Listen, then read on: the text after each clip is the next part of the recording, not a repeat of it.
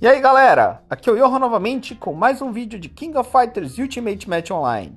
E dessa vez eu vou trazer para vocês a análise da nova personagem que chegou, o novo boss, a Isla, tá? Então, ela é uma personagem interessante, é uma personagem que lá fora fez bastante sucesso, principalmente nos servers da China, na real. E a gente vai entender por quê, o que, que exatamente ela faz, onde ela peca e se no final das contas eu acho que vale a pena pegar ela ou não. Ok? Então vamos falar sobre tudo isso, mas antes de mais nada, só aquele lembrete, caso você não seja inscrito, se inscreve no canal, ativa o sininho para receber todas as notificações e deixa o like. Não esquece não, quanto mais like, mais esse vídeo ah, o YouTube entende que é para entregar para mais gente e ajuda o canal a crescer. Teve vários vídeos aí que eu coloquei que não teve muita visualização, infelizmente, mas eu acho que é por causa disso daí, né? O YouTube em si não está entregando tanto. Galera também tá falando que tá inscrita no canal, que tá com o sininho ativado, não tá recebendo notificação. Então dá uma olhada em tudo isso aí, dá essa força pra gente e bora conferir mais esse personagem juntos. Vem comigo.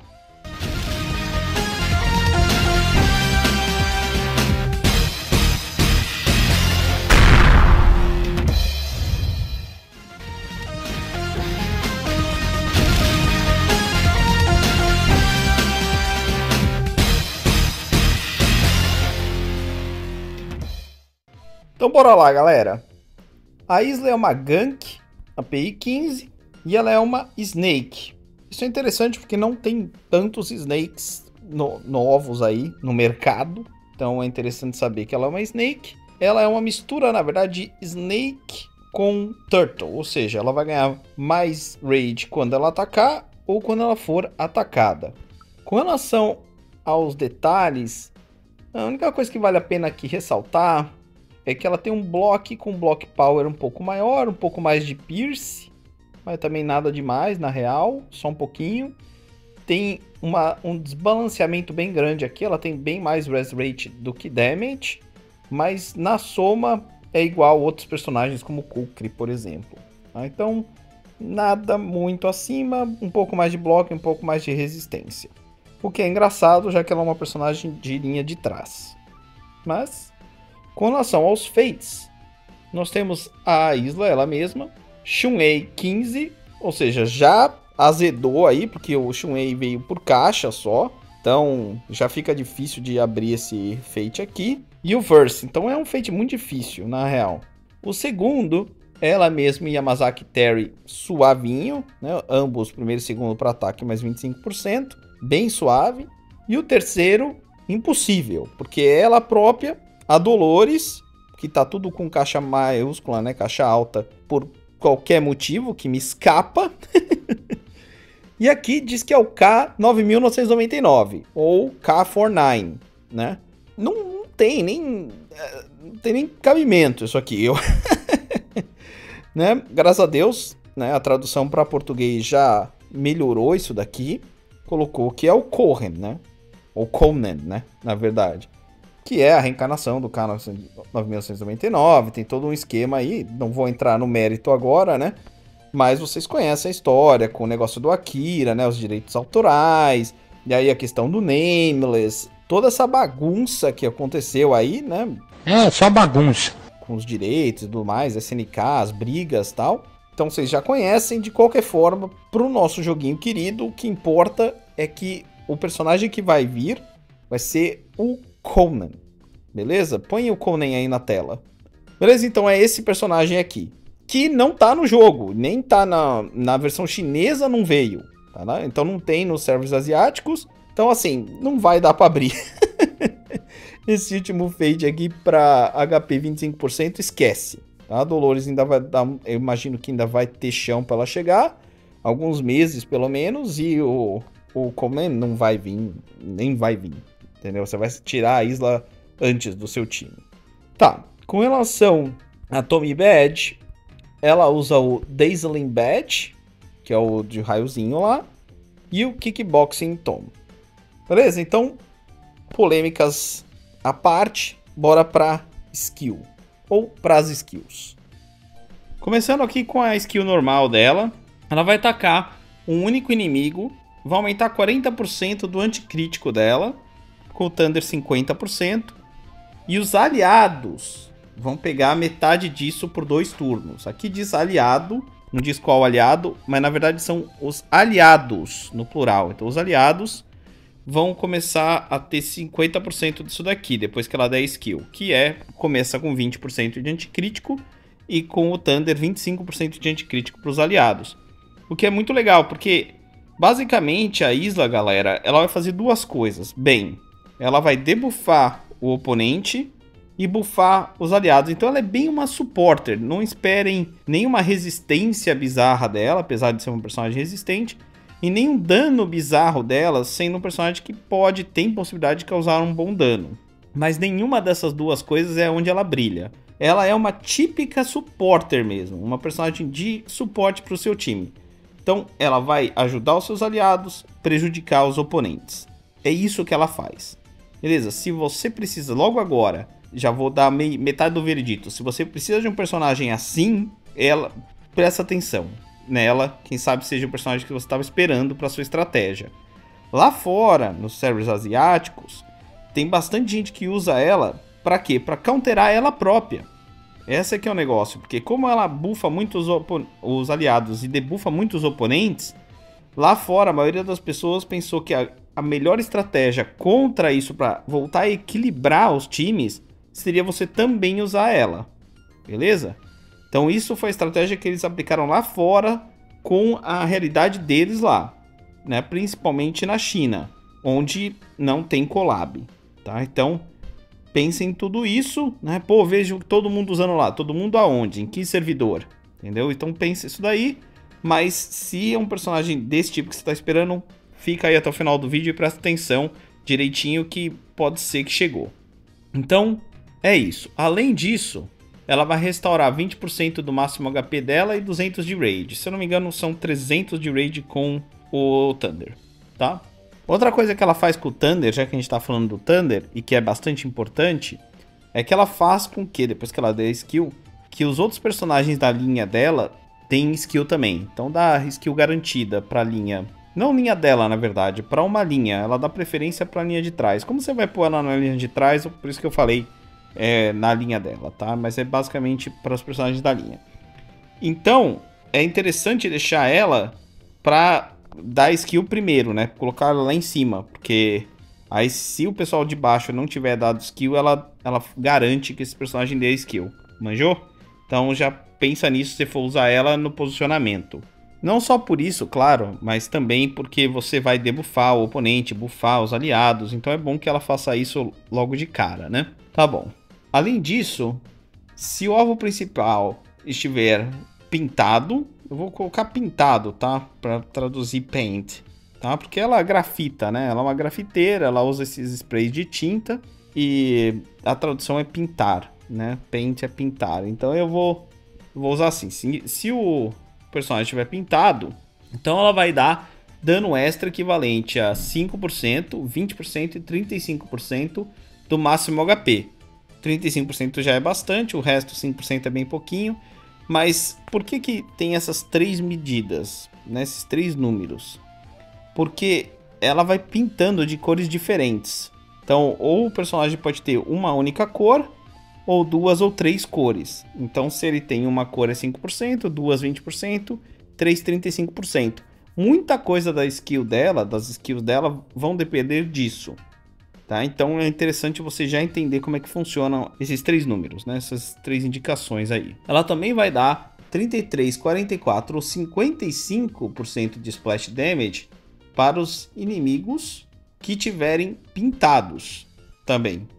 Tá? Então ela pode pintar mais de um e aí ela vai dar dano nesses personagens quando ela usar a skill. E aí vai depender de novo da quantidade de, de tintas, vamos dizer assim, de camadas de pintura que cada um tiver. Além disso, ela vai absorver 200 de rage do alvo que ela acertar, só do alvo principal, e vai reduzir 5, 10 ou 15% do anticrítico para cada e vai reduzir 5, 10 ou 15% de anticrítico de cada alvo que ela acertar por dois turnos. Durante um turno, depois que ela der skill, ela vai absorver 30% do, do HP atual de quem atacar ela, no máximo duas vezes por turno. Então atacou ela, depois que ela der a skill, né? Atacou ela, perde 30% do HP atual. Só que, além disso, com o Thunder, acho que tira a Rage também. De quem ataca ela, se eu não me engano. Preciso confirmar isso daí. Mas, com certeza, aumenta para 3 vezes se o ataque for um ataque que reduz Rage. Tá? Então, também é um personagem, como eu já tinha falado nas minhas outras análises, que tá vindo aí contra essa galera que fica reduzindo o rage toda hora.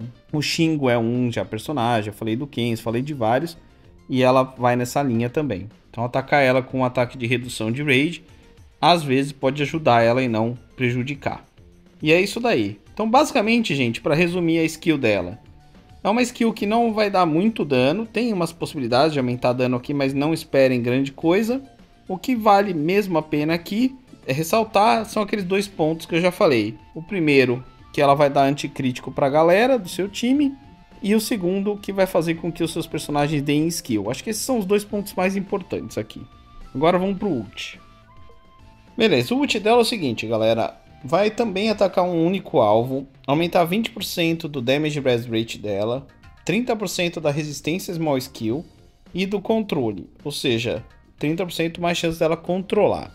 Se você tiver, se ela tiver uma spray can, uma latinha de spray, ela vai consumir essa latinha de spray e vai pintar de uma cor aleatória um, o alvo principal, o alvo que ela acertar. Com a arma, eu acredito que ela pinta também um personagem, se eu não me engano, aleatório que não tenha sido pintado ainda. Aí que tá, pra aumentar a chance dela ficar pintando a galera, tá? Que ela vai precisar dessas pinturas para um montão de coisa, como eu já falei quando eu tava comentando da skill, né? Aí ela vai causar dano extra equivalente a 20% do máximo HP para esse alvo, o alvo principal que ela acertar. Tem 60% de chance de causar paralisia, o stun. Com a arma vai até 80%, dependendo de quantas pinturas tem o personagem. Ela vai adicionar Power Strike para os lutadores da linha de trás, tá? Não é The Fighter, é The Fighters.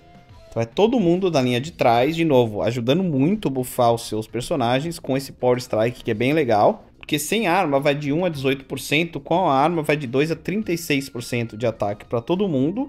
É, é, um, um turno. E vai também adicionar Iron Wall para os personagens da linha da frente. Vai de 2 a 36%. E depois, com a arma, vai de 4 a 72% de defesa, tá? Por dois turnos. E fala que esses valores podem acumular com outras coisas. Aqui você pode ver que a tradução tá tão boa, tão boa, que aqui diz: adiciona Iron Wall para front row, increase 2 a 36%. Do que? É excelente, né? Fantástico. 2 a 36% de defesa e depois de 4 a 72, como eu falei, quando você tiver a arma. Então, assim, vai bufar bastante a defesa dos personagens da frente, bastante o ataque dos personagens de trás. E tem muito mais coisa que ela faz com a arma aqui que até é interessante eu trazer para vocês, né? Além de aumentar essas coisas que eu já falei. Ela vai ter skill garantida se ela quando você colocar a arma, ou seja, se você posicionar ela em primeiro, como eu disse, da linha de trás, é certeza que depois que ela lutar, ela dá skill, e quando ela dá skill, todo mundo da sua linha vai dar skill. E vai dar skill com mais ataque que ela já vai ter bufado aqui.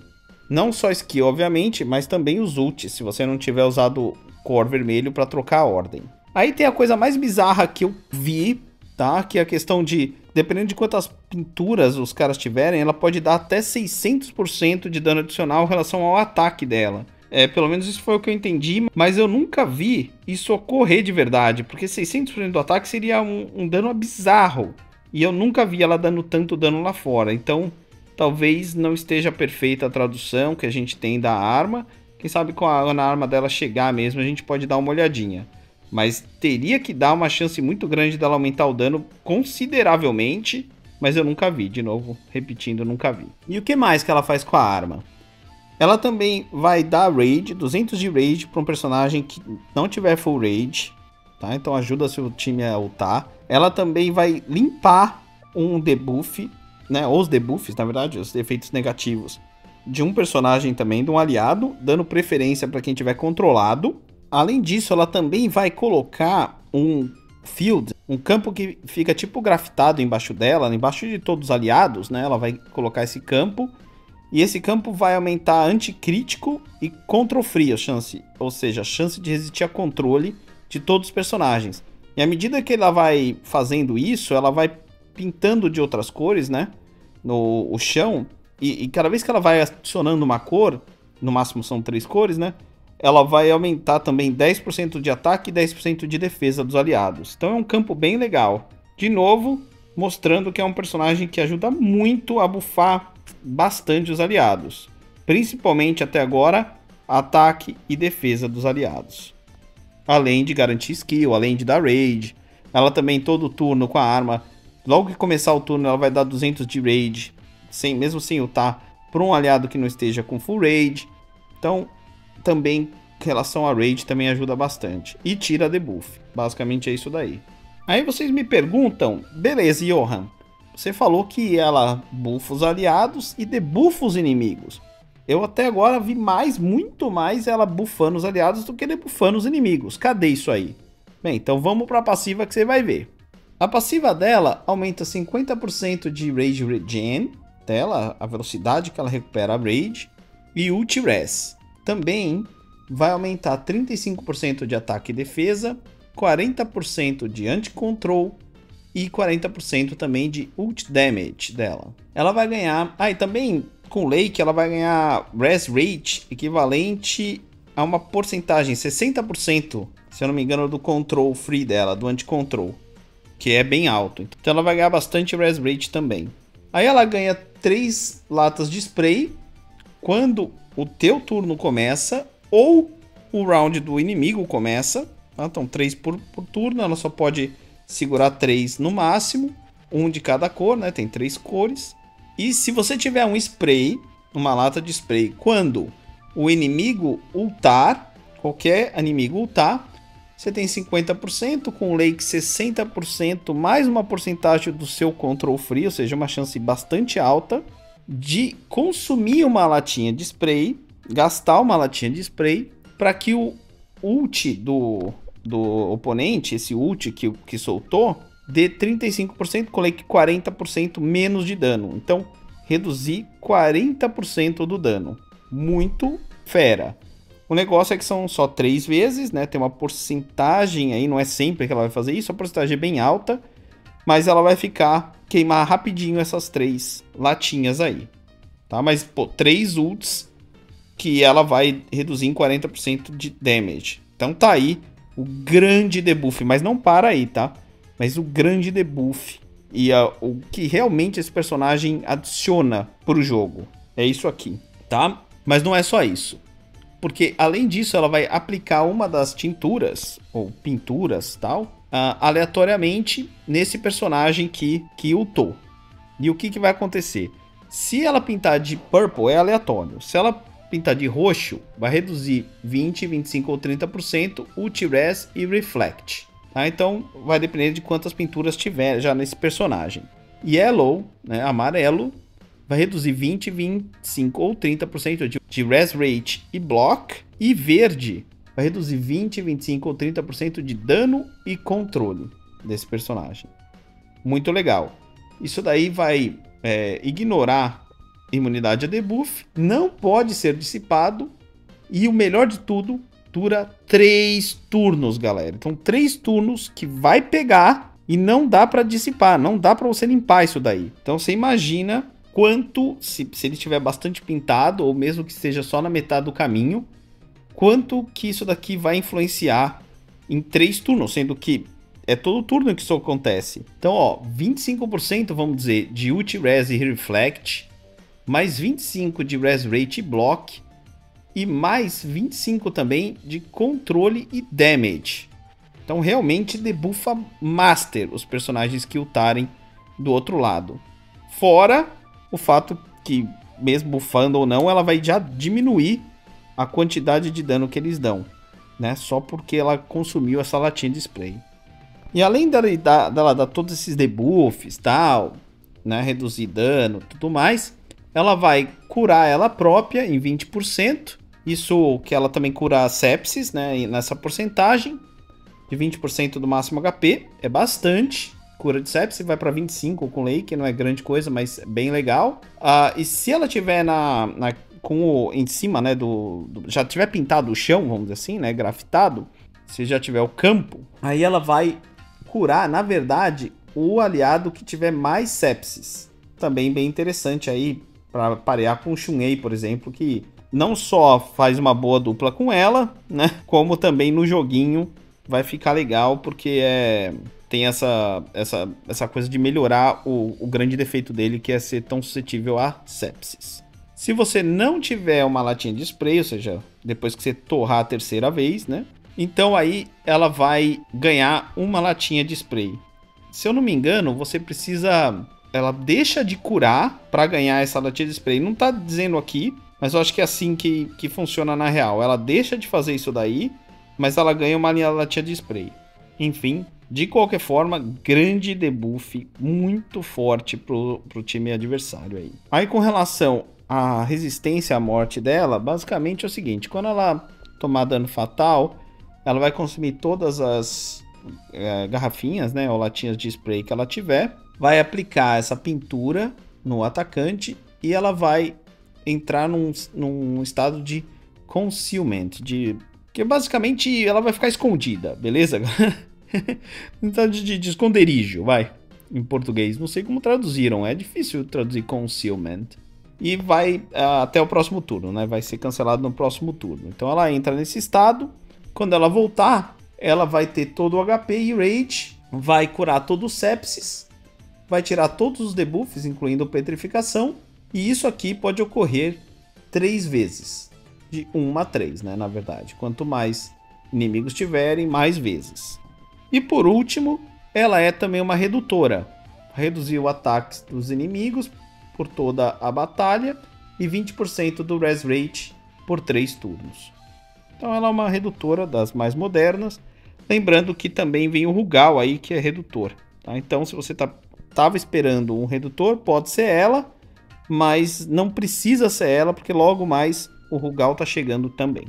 E é isso aí, galera. Essa é análise da Isla. Como eu falei logo de cara, ela é uma personagem de suporte que vai ajudar o seu time, vai prejudicar bastante o time adversário, vai reduzir bastante o dano que esse time vai dar, deveria pelo menos, tá? Não é uma personagem super resistente, mas ela tem alguns mecanismos aí de resistência. Não é um personagem super forte no sentido de ataque, mas tem alguns mecanismos que podem dar dano certo, né? Dano que não pode ser mitigado. Tem uma porcentagem lá de 600% que eu falei que é meio esquisita. Com o S-Max vai para acho que 999%, uma coisa mais bizarra ainda. 900%, sei lá. Mas também nunca vi um grande dano vindo dela, mas tem essa possibilidade aí, tá? Vamos ver como é implementada no global. De resto, eu acho que como ela tá vindo aí pela Roda da Fortuna, veja você, eu acho muito complicado porque quando vai vir a segunda arma? Será que vai ser na Roda da Fortuna também? E quando é que vai vir a outra Roda da Fortuna? Né, para você abrir o S-Max. Costuma esses personagens que vêm em Roda da Fortuna e tal serem meio flopados, né? Ou bem flopados na realidade. Então eu, eu fico meio com o pé atrás por causa de como ela veio. Se não fosse isso, você pegaria? Olha, ah, para fechar a ideia da Roda da Fortuna, antes de eu responder, vai eu acho que vai te custar uns 30k de Dimas, só que você vai pegar a arma dela. Então, para quem quer só ela para Fate e tudo mais, que seria o meu caso, é meio caro, né? Então pensa bem.